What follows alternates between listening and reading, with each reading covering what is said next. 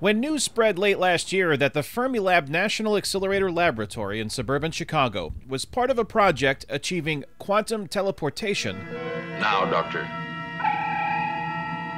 It conjured up scenes from the classic science fiction franchise Star Trek, in which the show's characters could beam from one location to another. That's not what we're doing here. What we're doing here actually is we're moving information without even physically moving the qubit that contains the information.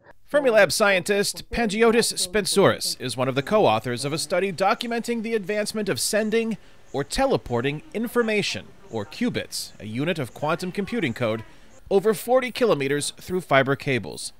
It brings developers one step closer to building a sustainable and widely used quantum internet, which would allow a lot of information to be shared faster and more securely. Quantum communications has very appealing attributes. I mean, you cannot um, eavesdrop in, in a way that will not be detected. What we achieved here with the systems is that we have produced systems that they can continually operate and perform um, uh, quantum measurements at, at, all times as a system, not just as a single experiment. Physicist Maria Spiropulu, based at the California Institute of Technology in Pasadena, California, says quantum teleportation could sustain networks that enhance GPS and speed up and amplify communication at great distances with spacecraft and probes, among many other possibilities.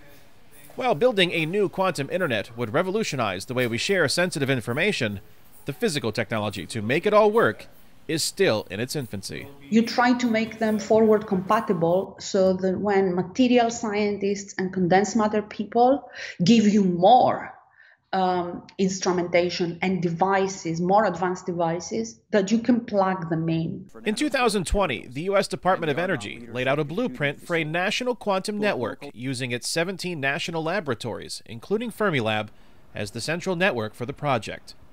Scientists and researchers say it represents one of the most important technological frontiers of the 21st century and hope to implement it in the next decade. There has been a lot of investment worldwide and in the US for, I want to say, 30, maybe 40 years.